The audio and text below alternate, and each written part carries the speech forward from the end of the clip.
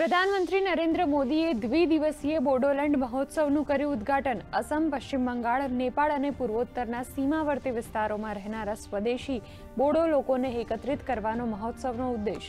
પીએમએ કહ્યું, શાંતિ કરાર બાદ બોડોલેન્ડમાં આવી વિકાસની નવી લહેર.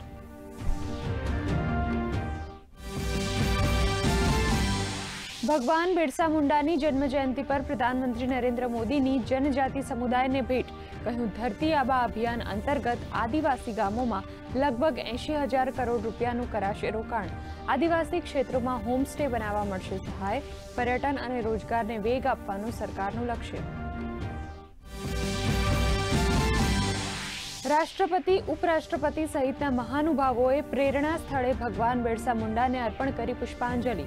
તો કેન્દ્રીય ગૃહમંત્રી અમિત શાહે નવી દિલ્હીમાં બિરસા મુંડાની પ્રતિમાનું કર્યું અનાવરણ. ડાંગ ખાતે આયોજિત રાજ્યકક્ષાના કાર્યક્રમમાં મુખ્યમંત્રી ભૂપેન્દ્ર પટેલે લીધો ભાગ.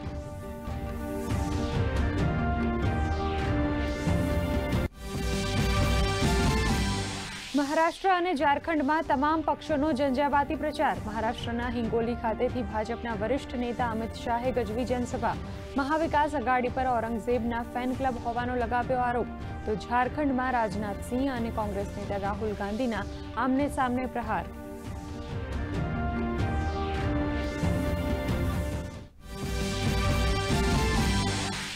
પોરબંદર નજીક દરિયામાંથી ઝડપાયો સાતસો કિલોગ્રામ ડ્રગ્સનો જથ્થો. આઠ ઈરાની નાગરિકોની પણ કરાઈ ધરપકડ.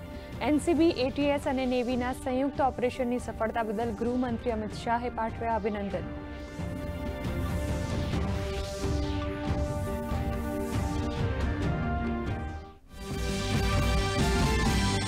અમદાવાદમાં માઇકાના વિદ્યાર્થીની હત્યા કેસમાં ગ્રામ્ય કોર્ટે આરોપી વિરેન્દ્રસિંહ પઢેરિયાના દસ દિવસના રિમાન્ડ કર્યા મંજૂર.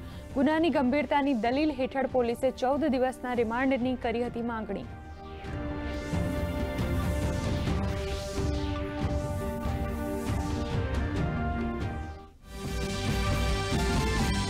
કચ્છના બન્ની અભયારણ્યના આકર્ષણમાં વધુ એક ઉમેરો. વીસ નવા ચિંકારા હરણનું આગમન. પાંચ હજાર હેક્ટર વિસ્તારમાં ચિત્તા અને તૃણભક્ષી પ્રાણીઓ માટે અભયારણ્ય બનાવવાનું રાજ્ય સરકારનું આયોજન.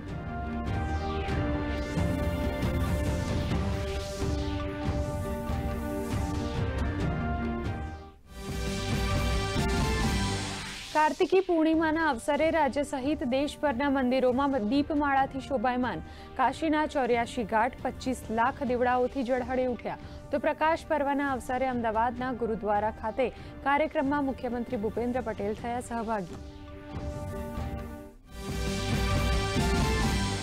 ભારત અને દક્ષિણ આફ્રિકા વચ્ચે જોહાનિસબર્ગ ખાતે આજે ચોથી અને અંતિમ ટી ટ્વેન્ટી મેચ ભારતે ટોસ જીતી બેટિંગ કરવાનો લીધો નિર્ણય. ચાર મેચની સિરીઝમાં ભારત બે એકથી આગળ. ભારત પાસે આજે સિરીઝ જીતવાની તક.